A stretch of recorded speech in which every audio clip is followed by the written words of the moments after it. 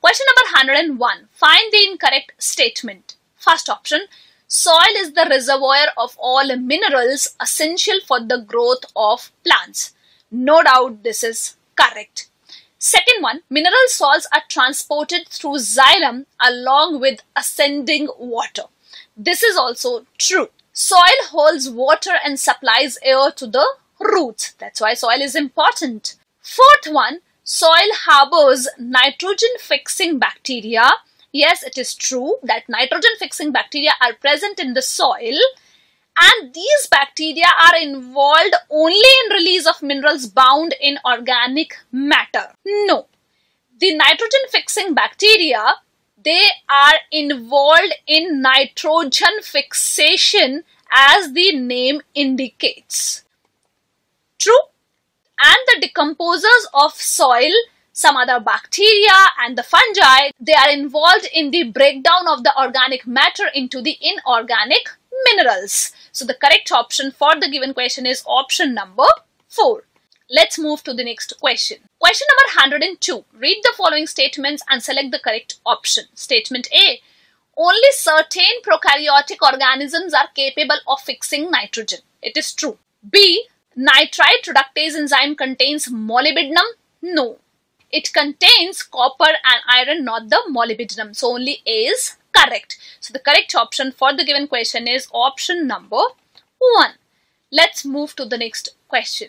Question number 103. Select the incorrectly matched pair. Minerals are given on the left side and on the right side you will get the physiological roles of those minerals. Zinc, synthesis of auxin. True. Iron, constituent of cytochromes. It is also true. Sulfur, Synthesis of DNA and RNA. No, it is not correct that sulfur is required for the synthesis of DNA and RNA. It is the nitrogen which is required for the synthesis of DNA and RNA, although there are some amino acids which contain sulfur. Nickel, metabolism of urea, it is correct. So the correct option for the given question is option number 3. Let's move to the next question. Question number 104. Excess of manganese does not cause. First option, reduction in uptake of magnesium and iron.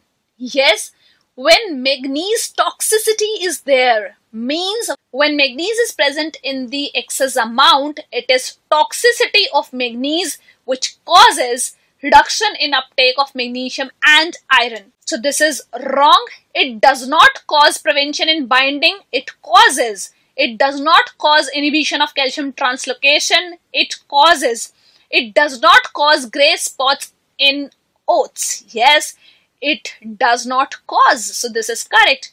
Why? Because manganese toxicity means manganese is present in the excess amount.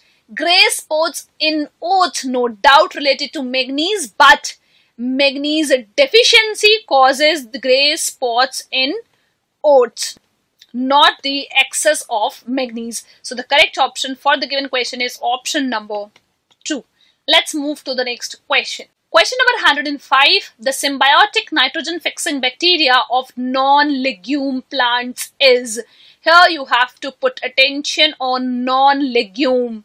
In a hurry you can read it as legume and can tick answer 1 but it is non-legume and in non-leguminous plant the nitrogen fixing bacteria is Frankia. So the correct option for the given question is option number 2. Let's move to the next question.